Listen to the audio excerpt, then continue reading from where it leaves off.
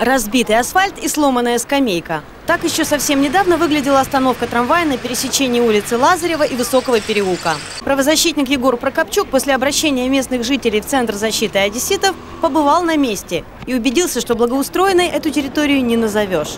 Пообщался он и с одесситами. Татьяна ездит на трамвае почти каждый день. Выходить приходится здесь. Ну, очень тяжело с трамвайной остановки с- выйти вот э, на дорожку, очень тяжело, потому что очень высокая бордюра. Сама с трамвая высоко сойти, да еще и в яму прыгаешь. Особенно, когда дождь или снег, э, гололед, вообще практически не, не пройдешь. Огорчала одесситов и сломанная скамейка. Ждать трамвая иногда приходится по полчаса, а стоять пожилым людям тяжело. Лужи постоянно, выходим в лужи, зимой в снег. Никого нету, ни, ни шашлыка, ничего нет. Не было здесь и пешеходных переходов. Людмила каждый день отводит своего ребенка в школу. Говорит, отпускать его одного опасно. Постоянно дорогу приходится перебегать, рискуя жизнью. Машины проносятся, не обращая внимания на переходящих дорогу людей. С удовольствием. Мы все за пешеходный переход.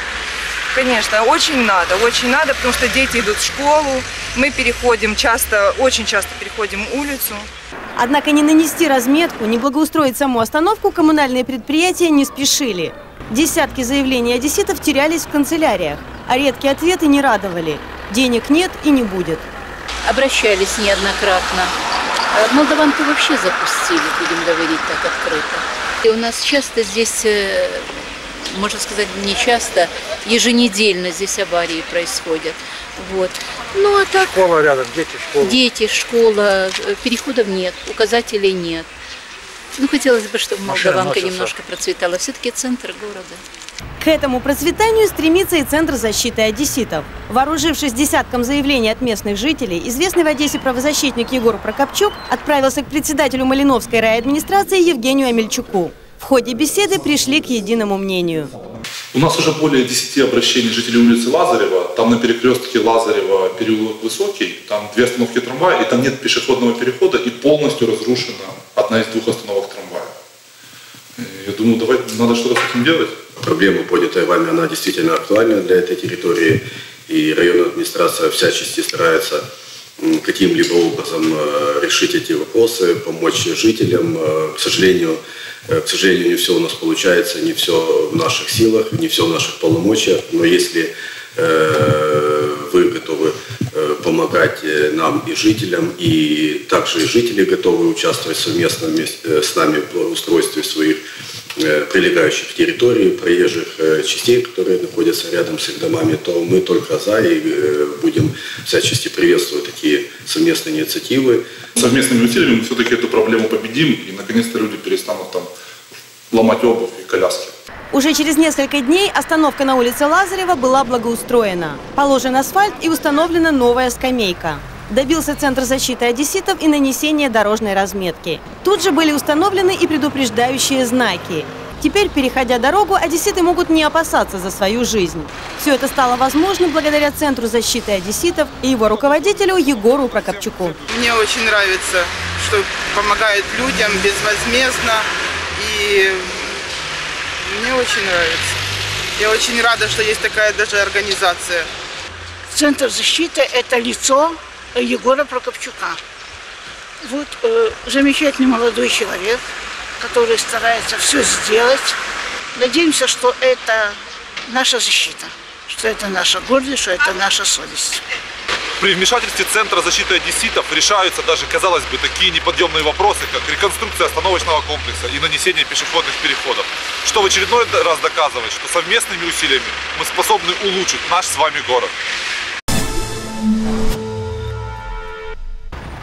Разбитые балконы, проломленные крыши и страх остаться без жилья. Именно с такими проблемами вынуждены сталкиваться жители Молдаванки каждый день. Казалось бы, что может быть плохого в растущем возле дома дереве? Однако, если не проводить санитарную подрезку вовремя, то оно становится настоящей угрозой не только для имущества, но и для жизни. Выполнять такую подрезку после заявлений жителей обязаны сотрудники ЖКС или Горзелентрест по заявке ЖКС.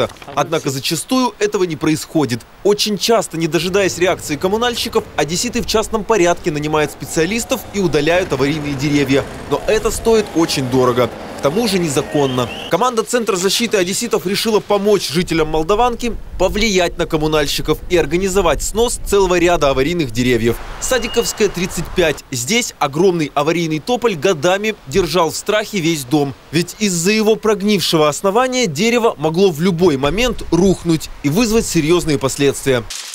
Но видно, что оно гнилое внутри. Это и, ужас. И в любой момент может рухнуть и просто погибнуть люди.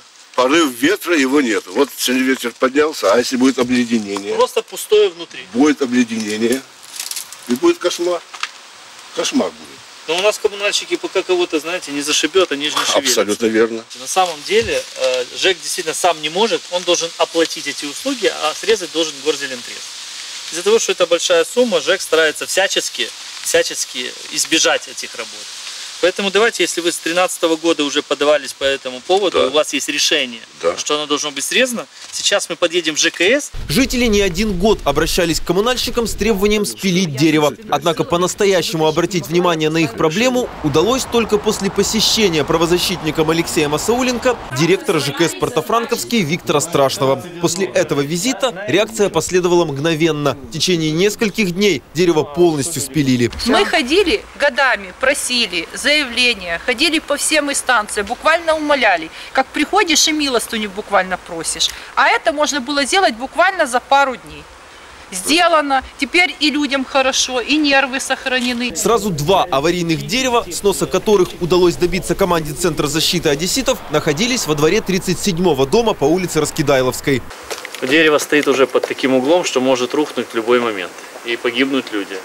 Будут ли за это отвечать коммунальщики? Скорее всего, нет, как обычно. Вот это дерево, которое разрушает мою квартиру.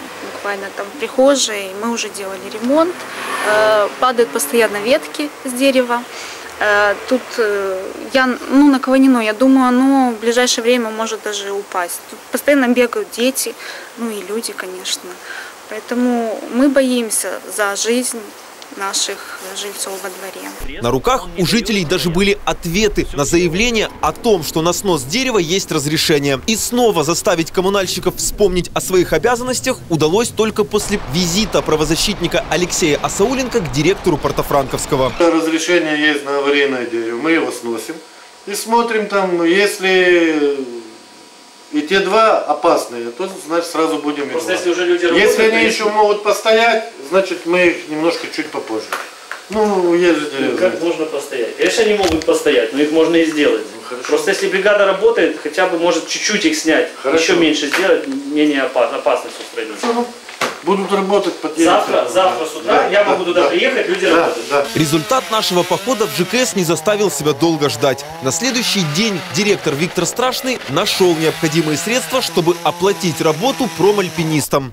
С помощью специального оборудования меньше чем за полдня было полностью спилено два аварийных дерева. Стояло дерево, которое нам долгое время мешало, и мы э, куда я только не обращалась. Вот были, была заявка в ЖЭК, обещали до первого числа октября сделать, но так и ну, не получилось.